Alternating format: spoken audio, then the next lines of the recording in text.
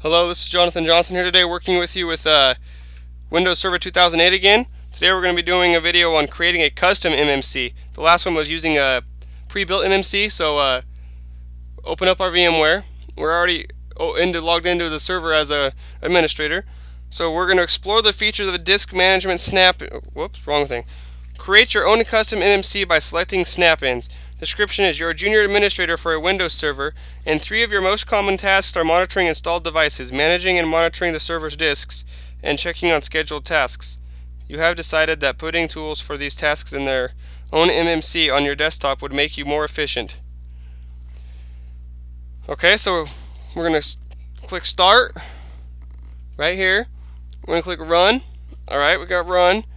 We're going to type MMC. Alright, now we typed MMC I'm going to click OK. Alright, now it pulls up console 1. We're going to click File and Add Remove Snap In. File, and click the Add Remove Snap In drop down. And then we're going to go and click on, uh, in the Available Snap Ins list box, we're going to click Device Manager. So we got to click Device Manager. For monitoring installed devices, then click Add. Alright, now we clicked Add to Add Device Manager. Note your choices in the dialog box. You can decide whether to use the selected snap-in on a local computer or another computer. If you select the select the, the another computer option, you can manage that computer remotely with your MMC. So leave the local computer option selected and click finish. We're going to leave it local computer selected and click finish. Alright. We're going to repeat steps 4 and 5, substituting the disk management and task scheduler snap-ins for device manager. Okay, so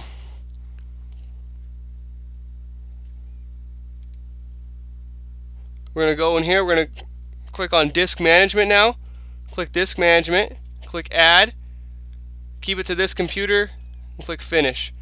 Alright, now we, we added the disk management. Now we're going to do the same thing with task scheduler.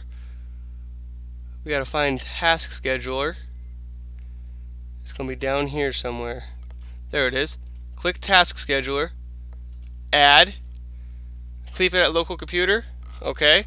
Now notice right here, selected snap-ins, we got device manager on a local computer, disk management on local computer, and task scheduler on local computer already set for the selected snap-ins to be added. Um, when you add disk management, click this computer instead of local. So we did that wrong. Disk management, we're going to remove that. And we're going to go and we're going to add disk management back in. Disk management, add disk management, yeah.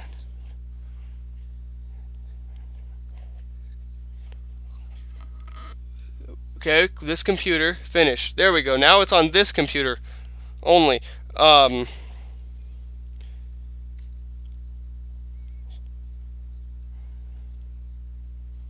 Now that we're finished adding these snap-ins, we're going to click OK. Now all of our snap-ins are added in there.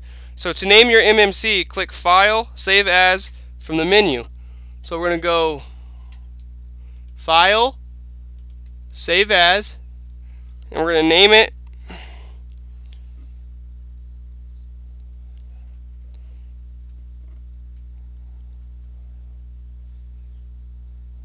We're just gonna we're gonna name it.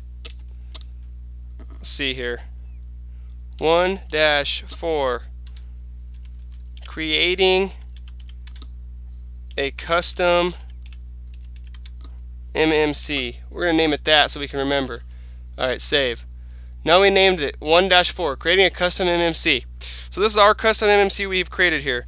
Now, in the Save As dialog box, click the desktop icon and type dev disk task for the file name, and then click Save. You now have customized MMC on your desktop. So we can go back and we can redo that. We can just go save as. We're going to rename it. We're going to go click the icon. So right here you can click desktop and it's going to save it to our desktop. And we're going to go D E V dev disk and then task.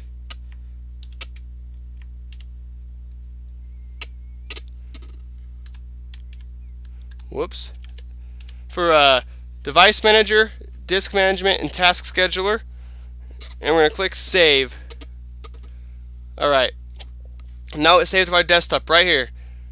There it is. We can open that up at any time. So we're going to close these. I'm going to open this right here to see what happens. Double click it. There's our, our very own MMC on our desktop if we ever needed any help. We just pull that up to go back to our own custom desktop. And that's all I have for you today on this uh, activity of creating a custom MMC. Hope you learned how to create a custom MMC and save it to your desktop. Thank you and have a nice day. Bye.